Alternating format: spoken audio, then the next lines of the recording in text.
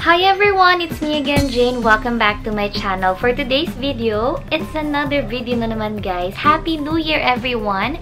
So today's vlog, this is all about again yung pag-uumpisa ng aking 2020, sorry, 2021 EP 2021 Ipon Challenge.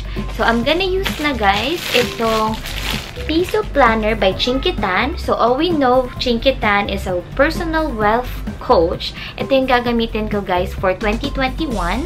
And inihahanda ko na rin ang aking kaperahan para sa aking ilalagay ngayong 2021.